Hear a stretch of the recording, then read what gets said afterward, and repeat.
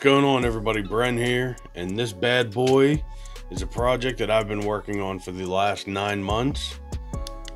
This is a water cooled PlayStation 4 Pro model 7015B. This is a launch, this is an OG Pro that I that I've had since launch.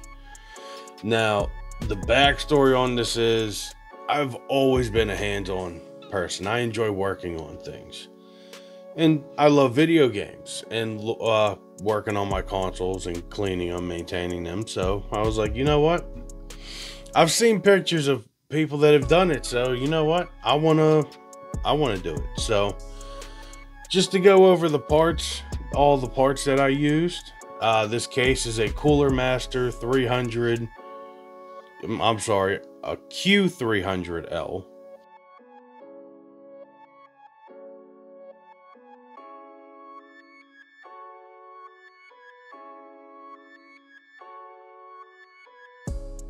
The reason I went with this case is the big part was the price. It was uh, roughly about $40 on Amazon, I believe. And I didn't want to go with too big of a case um, just for the PlayStation, which in hindsight, now I'm wishing I would have gone with a bigger case. Um, but it also has a mod modular I.O. panel that can be moved to 104 positions right in the center here. Um, the power supply is an EVGA 650 G5. I went with this one. I got this on Facebook Marketplace. I got it used. It was still in really good condition. Um, I went with a 650 watt because the PS4 Pro, I believe, operates two two to 300 watts. And I wanted to make sure I stayed right around that 50% range of uh, power supply usage. That way I didn't go over. Plus, I still had other things that I still wanted to run off of it, and I didn't want to tax the power supply that much. So, the flow meter here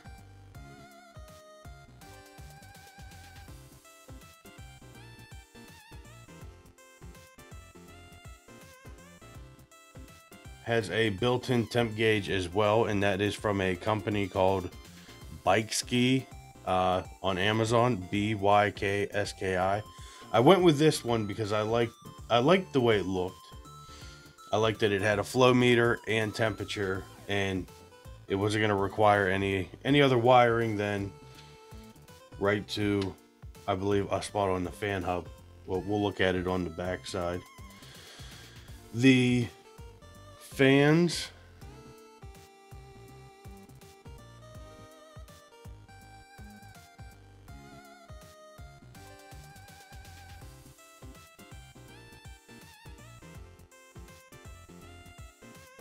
Is a, Apevia CO512L 120 millimeter blue LED fans.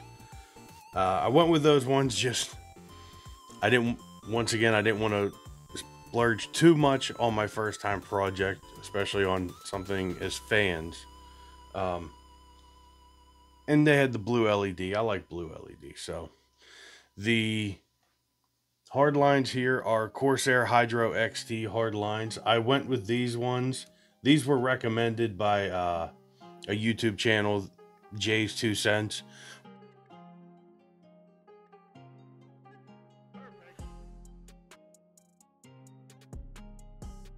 Uh, the pump, this is a pump tank combo. Uh, uh, it's a Freezemod. On Amazon is Amazon says it's from a company Bewinner, but I've also seen six other listings with this same exact part. So I just went off of the name that's on the part itself, which it's called Freezemod. It's been really good. It's been fairly quiet once I got all the air bubbles out of the system, it was fairly silent, even for having uh, some of the Amazon reviews were saying how noisy it was, but I haven't had any problems so far with it. So And I filled all this with uh, Corsair XL8 coolant. I know I said I kind of cheaped out and skipped on some parts because this was my first time project, but I went with the Corsair stuff because it was highly um, reviewed on Amazon and stuff. So this the disk drive is mounted right back here behind the motherboard. Now, this bad boy has to stay on here because the cuts don't look the greatest. But there's my opening for the disk drive. Um, now, obviously, with this off, it would get a lot more intake on the air, but then you'd have the horrible view of that. So, that bad boy will just stay on there. Move around to the back side and please, please forgive me. This isn't done yet. I know this is something that drives a lot of people crazy from what I've read. The cable management is still a mess. Um, and the reason is is once I got this thing running properly and I got the temperatures down and it wasn't overheating, I just I fired it up, I played on it. I was like, "Oh man, I got to get the video going for this." So but this is a Samsung 870 QVO one ter- it's just a one terabyte um I didn't want to go too big because uh I do most of my gaming over on my PlayStation 5 so, um, the fan controller here is just a no name, as well as, forgive me, I didn't bring this up. There's a 120 millimeter radiator mounted right here. That's why this fan sits lower than this one over here. These are both uh, no name brands that I just picked up on Amazon fairly cheap. Um, but this bad boy right here, and this this bad boy is what is what is keeping the temps down so I can play this thing for hours with no problems. This is a Noctua NHL9i 17 Chromax.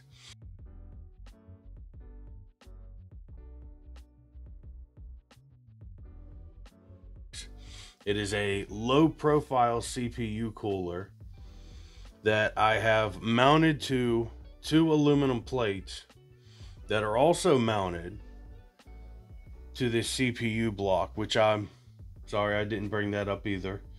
This is also a, a no-name brand that I picked up on eBay. Um, this bad boy, before this, I was having a hard time with a cooling solution for the RAM chips. Because anybody who knows the PlayStation 4 Pro, that baby runs hot.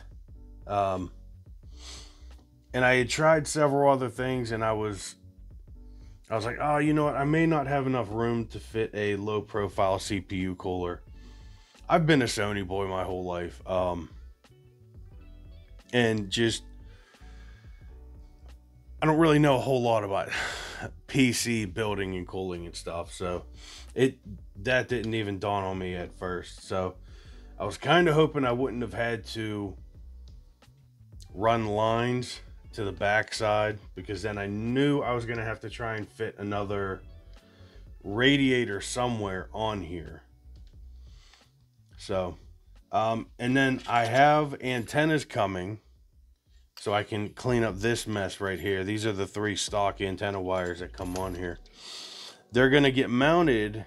I'm going to push these tabs back and mount uh, the antennas here on these three holes. So now I said that, you know, when I got this thing running and I got it uh, stable, I say stable, like it was a, once I, once I was able to run it and keep the temps at a norm, relatively normal level, I had to think of a game that I was going to play for several hours that would tax the system a little bit. And for that, I decided on Fallout 76. And the reason I went with Fallout 76 was this was, of course, we had the show that just came out. Um, so I knew there was going to be a surge of new players as well as people returning to the game. Uh, it's an open world game with a, I believe it's a maximum of 24 other players on the map. And it also has a very active environment as well as many enemies on the screen as well. Now, I played it for about three, three and a half hours, um, and it maxed out at 38.2 degrees Celsius, according to the, the uh, flow meter here. But I know that it was a little hotter up here because as you can see, the flow meter is mounted on the return. Well, I'm sorry, after the return, after it goes back into the, the uh, tank and it gets pumped back in. So I know it's a little hotter up there.